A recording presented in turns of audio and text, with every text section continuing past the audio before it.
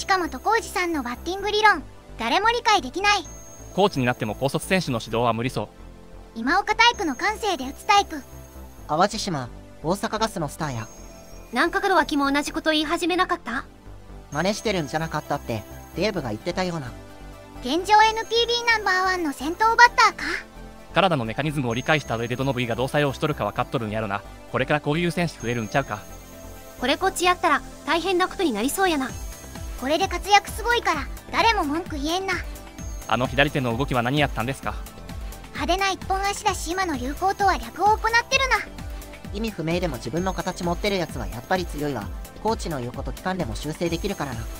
木並がめちゃくちゃ教えてくれるけど全然わからんとか言ってたな。矢野認知を超える。打席で意識する19個のルーティーンも天才すぎて意味不明。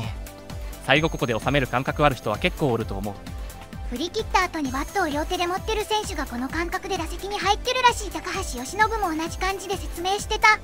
なんかすごいな。ご視聴ありがとうございました。